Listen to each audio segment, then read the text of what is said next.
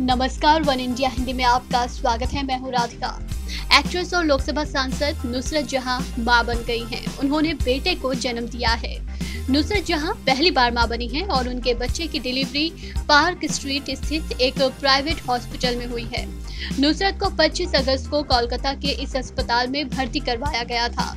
उनके हॉस्पिटल में एडमिट होने के बाद से ही फैंस खुशखबरी का इंतज़ार कर रहे थे।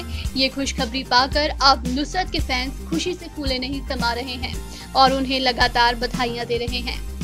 हर कोई बस अब बेबी बॉय की पहली झलक देखने के लिए बेताब है। नुसरत और बच्चा दोनों ही स्वस्थ बताए जा रहे हैं। कई फ़िल्मों में नुसरत जहाँ के को एक्टर रहे यशदास गुप्ता। नुसरत जहाँ को हॉस्पिटल लेकर पहुँचे थे यशदास गुप्ता वही हैं। जिनसे नुसरत के अफेयर की खबरें काफ़ी सुर्खियों में हैं। नुसरत जहाँ ने डिलीवरी से कुछ ही घंटे पहले अपनी एक तस्वीर सोशल मीडिया पर शेयर की थी। उन्होंने इसके कैप्शन में लिखा था, डर पर विश्वास। इस तस्वीर में नुसरत जहाँ के चेहरे पर प्रेगनेंसी ग्लो साफ़ झलक रहा था। नुसरत जहाँ की ये नो मेकअप फ़ोटो फैंस के बीच छाई हुई है। बता दें कि नुसरत जहाँ की प्रेगनेंसी की खबरें जून के महीने में सामने आई, जब उनका बेबी बम लोगों के सामने आया।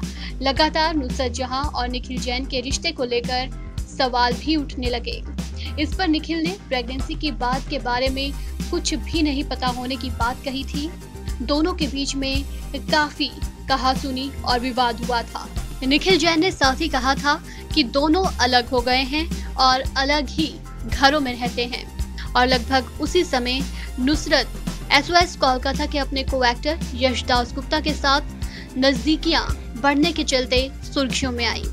उस वक्त दोनों साथ में राजस्थान ट्रिप पर भी गए थे, लेकिन नुसरत जहाँ और यशदास गुप्ता ने अभी तक अपने रिश्ते पर खुलकर कुछ नहीं कहा है। इस खबर में फ़िलहाल इतना ही। तमाम अपडेट्स के लिए बने रहिए वन इंडिया के साथ।